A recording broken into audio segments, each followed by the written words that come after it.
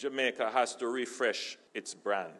The brand is probably our most uh, important intangible asset that we have. If you consider what brings people to Jamaica, it is the allure of the brand. Our flag is probably one of the top five most recognizable flags in the world. I believe you would look at the United Kingdom, the United States, Brazil, and then Jamaica.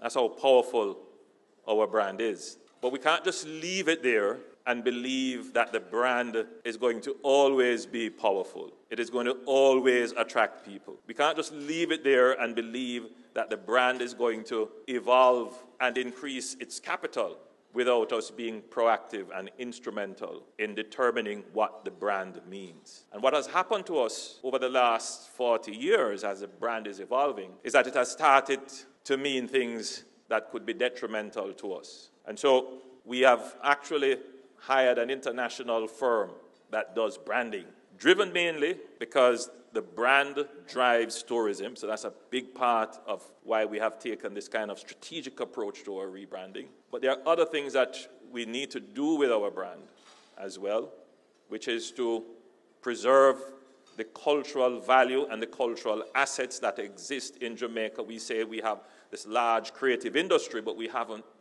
really managed to monetize it. And we need to be able to properly identify it and define it. And so we're going through this process of rectifying, restructuring, redefining who we are as Jamaicans and what it means to be Jamaican.